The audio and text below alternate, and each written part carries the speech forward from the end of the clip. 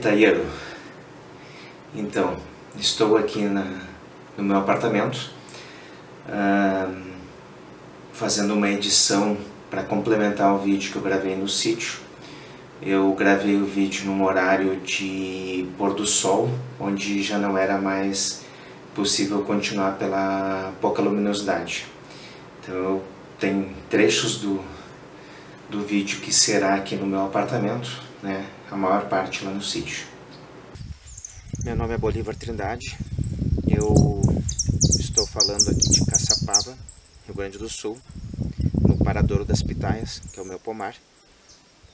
Hoje eu vou falar sobre o pitaieiro sem foco, que é o, o, o oposto do pitaeiros em foco, que é o nome do nosso canal, que é, são exemplos de erros que os pitaieiros costumam cometer.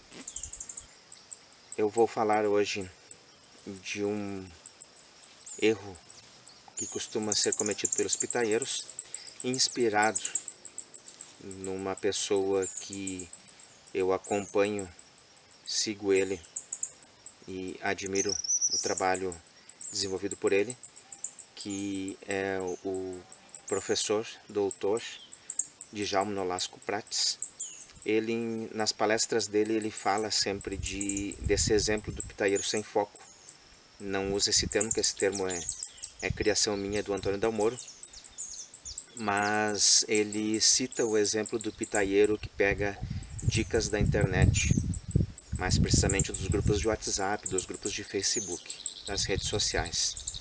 Então esse exemplo do pitaieiro sem foco que eu vou falar agora aqui para vocês.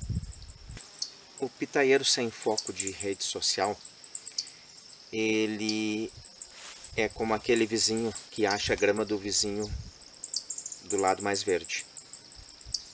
O pitaieiro sem foco de rede social, ele olha uma foto num grupo de Facebook, num grupo de WhatsApp, Telegram, e ele acha a fruta apresentada pelo amigo bonita e já sai perguntando que variedade é essa. E aí ele toma como certo que aquela variedade é melhor. O pitaieiro sem foco de rede social, ele olha uma planta bonita, cheia de frutos, e ele já pergunta qual foi o adubo utilizado pelo, pelo colega virtual e ele sai aplicando esse adubo na sua plantação. O professor Djalma ele sempre cita esses dois exemplos nas palestras dele e eu vou trabalhar um pouquinho mais esse assunto. O que, que acontece? Nem tudo que serviu para mim, por exemplo, aqui no Pampa Gaúcho, vai servir para outra pessoa em outro lugar. Eu sou uma das, das poucas pessoas que plantam nessa região, nesse microclima, e, e, por exemplo, algo que eu coloque aqui que seja bom, e normalmente é isso que a gente faz nas redes sociais, a gente põe aquilo que é bonito, é, vai dar certo em outro lugar.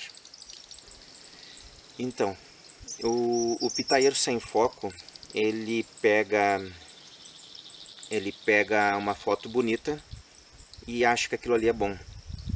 E a maioria de nós, a gente escolhe a, a fruta bonita, a planta bonita, o melhor ponto do pomar para tirar uma foto, porque a gente vai expor, a gente quer mostrar aquilo que é bom, aquilo que é bonito.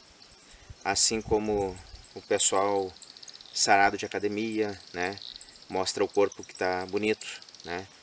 Gordinho tira foto de cima, né, tira foto de cima porque a foto de cima esconde um pouco a gordura, né. Então a gente escolhe o melhor ângulo para tirar foto, e isso vale para o pomar também. E aí o pitaeiro sem foco acha que aquilo que o amigo está fazendo é o melhor, melhor dos mundos e sai copiando. Só que aí não é o melhor dos mundos, não é o mais recomendável para a situação dele, para o clima dele, para o solo dele, para a variedade que ele plantou.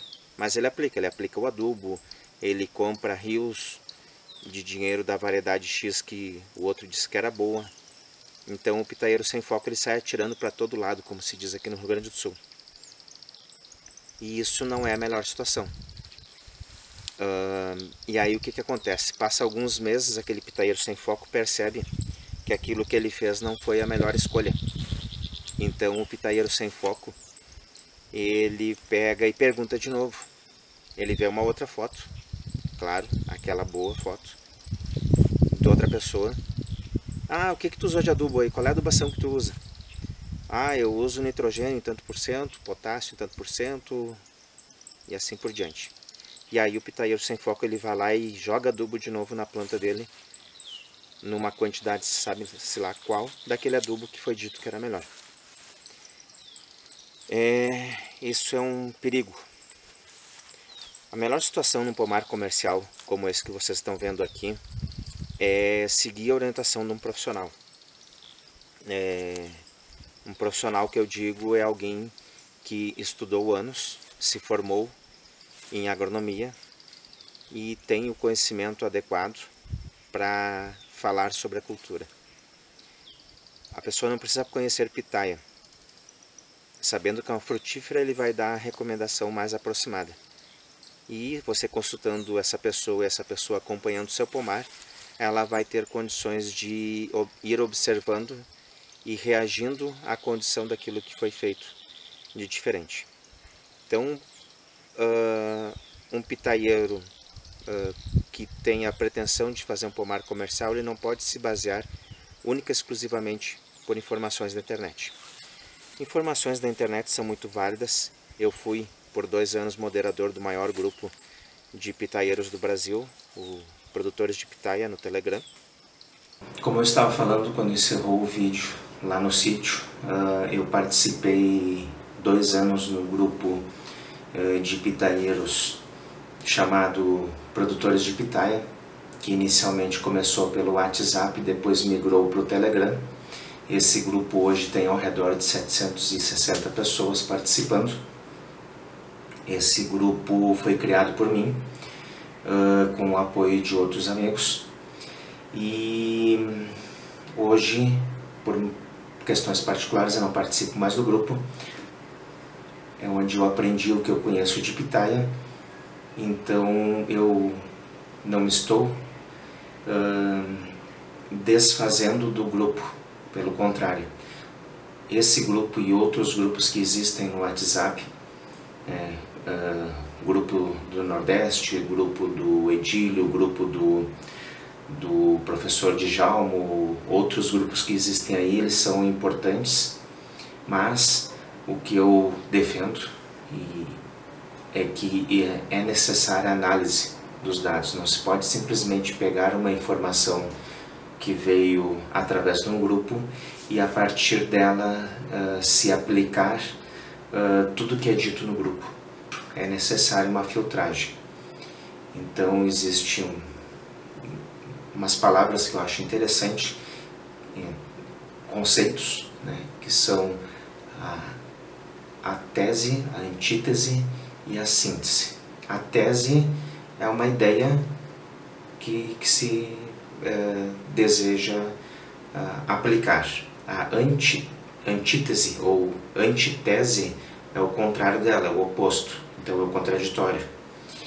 Então, é necessário que uma pessoa que não tem estudo e que está buscando conhecimento pela internet, ela avalie um lado, avalie o outro, misture os dois. Então, é a tese, a antítese e busque a síntese, que é a mistura dessas, dessas duas vertentes. Então, não adianta eu ver que um colega diz que determinada coisa é melhor e eu baixar a cabeça e fazer aquilo o que o professor Djalma, que eu citei antes, fala é que muitas vezes o produtor acaba confundindo a planta, porque ele aplica um tipo de, de adubação numa hora porque achou melhor indicado por outro, por, um, por, um, por uma pessoa, daqui a pouco pega a indicação de outro e aplica outro tipo de adubo e nisso a planta fica uh, confusa. Né?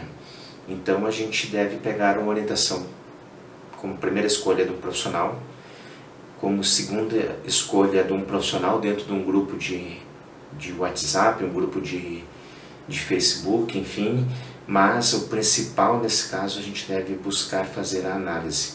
Então, olhar todos os lados possíveis e tomar a decisão pautada em várias análises e não simplesmente olhar, baixar a cabeça e fazer.